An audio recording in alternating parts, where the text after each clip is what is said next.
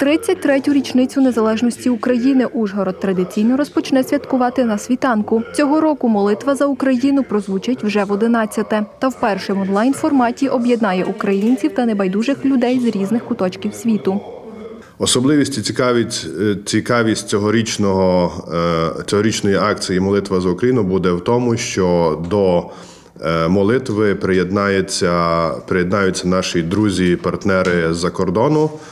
Е, Декілька держав з декількох локацій в онлайні також будуть співати молитву за Україну, зокрема в Сполучених Штатах, е, в Відні, в Польщі і в деяких інших е, в Угорщині, в Будапешті, в деяких інших е, європейських і не тільки е, державах.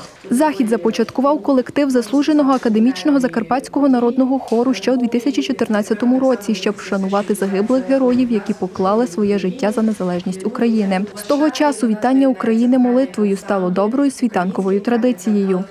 Коли були перші загиблі за нашу незалежність і свободу, ми проводили її на е, ботанічній набережні біля філармонії внизу. І е, ви знаєте, з того моменту, хоча погода нам не дуже сприяла, прийшло дуже багато людей підтримати, і е, тоді ми вже відчули, що це потрібно, тому що це такий наш громадянський обов'язок, і дуже приємно, і дуже е, важливо, що ужгородці, взагалі закарпатці, відчувають, що, е, що свого роду показують свій патріотизм і свою громадянську позицію. Представники різних конфесій краю звершать екуменічну службу, а колектив заслуженого академічного закарпатського народного хору виконає молитву Отче наш різними мовами світу.